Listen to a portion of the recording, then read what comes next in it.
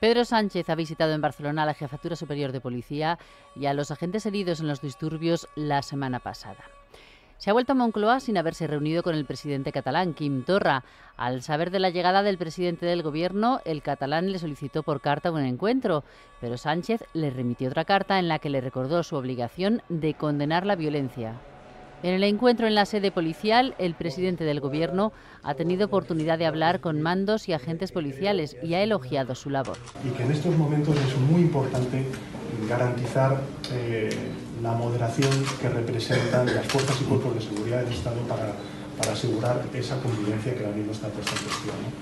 Eh, yo creo que sois un ejemplo de profesionalidad el presidente, acompañado por el ministro de Interior, Fernando Grande Marlasca, ha transmitido su apoyo. De agradecimiento, de reconocimiento, de solidaridad, ¿eh?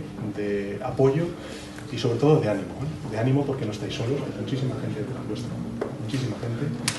El presidente del Gobierno se ha desplazado a los hospitales Sagrat Cor y San Pau, donde permanecen ingresados algunos de los heridos a los que ha podido visitar. Hay casi 300 agentes de Policía Nacional y Mossos heridos.